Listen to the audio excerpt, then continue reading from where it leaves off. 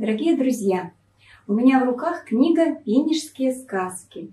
В этот сборник вошли сказки, записанные Галиной Яковлевной Симиной во время фольклорных экспедиций. Я почитаю вам сказку «Клеточка-самолеточка», записанную в деревне Кевролы.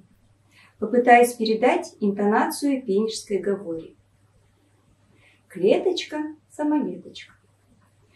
Жили-были мужик да жонка, да у них было три девки. Отец вот поехал на ярманьку. Вот она, большая-то дочь, говорит, купи мне, татка, кумацник. А другая-то говорит, купи мне платье. А третья говорит, а купи мне клеточку-самолеточку, сама-то мало дочка. Вот он поехал, купил дочерям всем по обновы, а той клеточку-самолеточку. Сестры тихо хочут над ей. Куды, говоря, в клеточке-то самолеточки полетишь? Она помалцила, все на пяти лежит. И вот пошли они на гулянье, эти сестрички, срежаются. Она на пяти-то говорит, возьмите, сестрица, меня. Куды, говоря, за петельница поедешь? Ее Маршунькой звали, Маршунька была. Ну вот они ушли на гулянье-то, она к бабушке за дворинки убежала. Струнку дернула бабушка ей. Она срядилась, нарядилась, всех наряднее.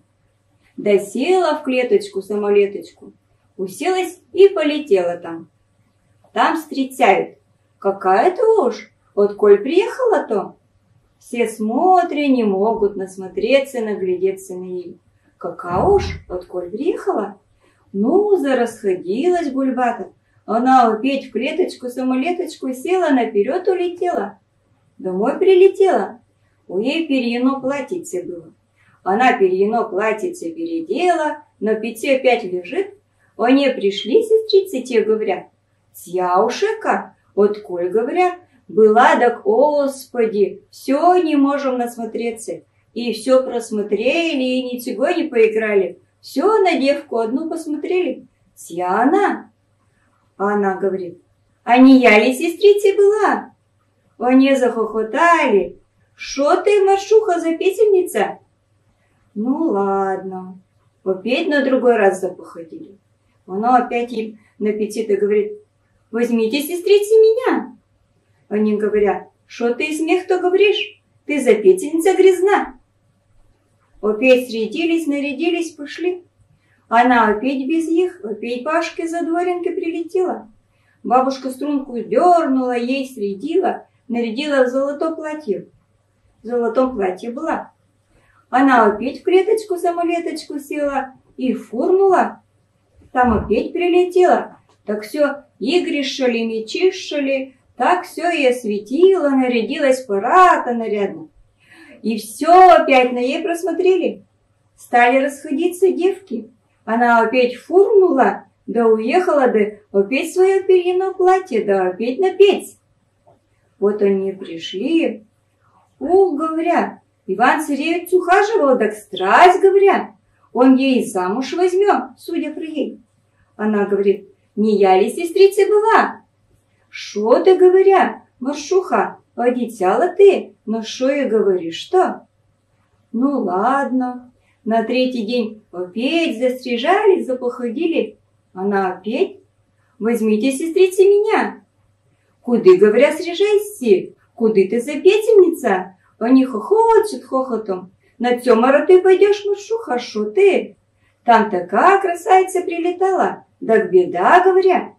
Иван Царевич вовсе уж ею, говоря, вклепнулся. Уж возьми и замуж, верно? Ну ладно, они ушли, она опять башке. Средилась в золотом платье. Опять в клеточку-самолеточку села, фурнула. Прилетела там, так и все проглядели. И игры никакой не было, все на ей проглядели. А этот Иван-Царевич, да не узнать такую-то, кто она, она я, да в перстенек ей посадил золотой, тяпнул. Вот теперь видно, она и прилетела домой ту. Платье-то испугалась, так не разоболокла, перьяно-то наверх оболокла. Платье-то на золото-то. а голову-то завязала платочком. Вот они и пришли. Вот теперь, говоря, уж не увернется. Какая была уж узнала, какая была, откуда она приехала, говоря. А то приеде не видим, когда и уеде не видим. Говоря, вся уж это была. Уж судили да судили сестрите. Она на пяти, ват не я ли сестрицы была? Они хохочут, кака тут ты, не поминай лучше. А Ивана-царевич взял, да и в тот же день поехал по всему городу, да по всем деревням. Где моя невеста узнавать, у какой перстень в лобу он в лобот посадил. Вот и Ким тоже пришел. Тут две девки, а там девка на пяти. У их посмотрели, нету тут, а она на пяти. Они захохотали, говоря, у нас маршуха на пяти есть еще. Он говорит, разве? Да, говорят, маршуха есть. Он говорит, маршуха. Они говорят, да. Он схватил ее на пяти-то, потянул за платье-то, за перину-то, порвал, да там все светлом засветило ей золотое-то платье. Вот и все, стянул ей с пяти, развязал лобик. И вот и все, и увез, и свадьбу такую состроили, и все, и конец сказки.